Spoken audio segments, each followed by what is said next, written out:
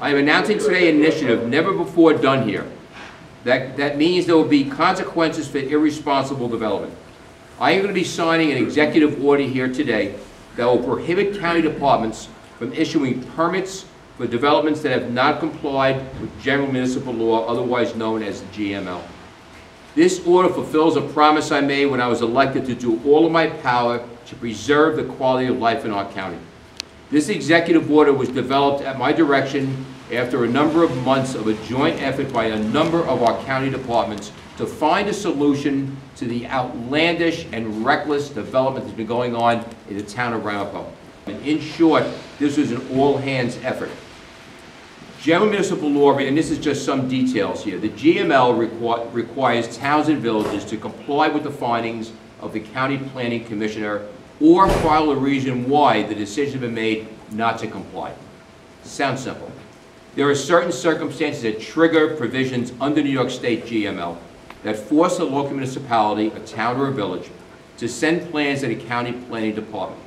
This includes plans for proposed zone change, a special permit, certain subdivisions, certain site plans, and even changes in local laws.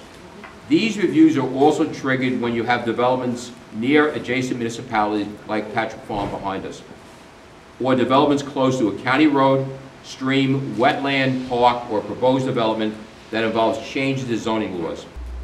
What this means is that a town or a village that, will, that can still allow development that does not comply with the GML, something unfortunately is quite common in certain parts of this county. But the county will no longer go along with it unless the town and village tells us why it has reached a different conclusion. And you know something? Sure, you can build a 479 house development over a crucial freshwater aquifer, even though our Commissioner of Planning says so. But guess what? You will not be able to get water or sewer hookups for that home, those homes. You will not be able to get addresses. You cannot open your road. You cannot get curb cuts for driveways unless a town or village explains why they think it's okay to override the county. I say this to you, good luck with that.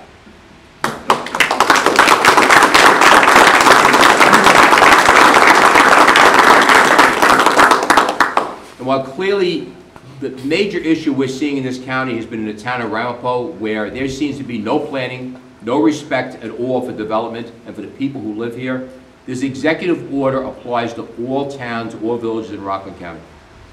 But all of us do know that the problem with irresponsible, sometimes reckless development is for the most part contained in one town, Ramapo and a few of its villages. We are at a turning point in town of Ramapo. We all know what a jury found just last Friday regarding the ex-town supervisor. Let's hope Ramapo has turned the corner. Let's restore integrity in the town of Ramapo. We want the county to be there for people of Ramapo who have been waiting years for a change, being frustrated at every turn.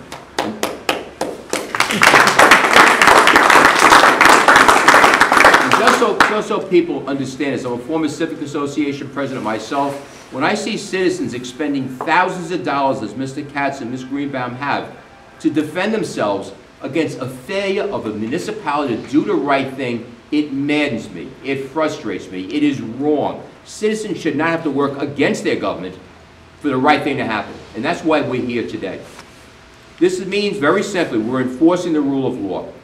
And what happens Ramapo now has an impact on all of Rockland County. And we have to all understand that. Reckless development with no regard for our natural resources, no regard for our infrastructure, and no regard, regard for our quality of life will no longer be allowed and it will not be tolerated. As a former civic association, I refuse to accept this any further.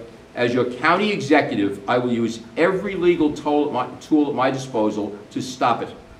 This is our new line in the sand being drawn today, here, right opposite Patrick Farm in this firehouse. And in case some folks don't understand this, I'll repeat this.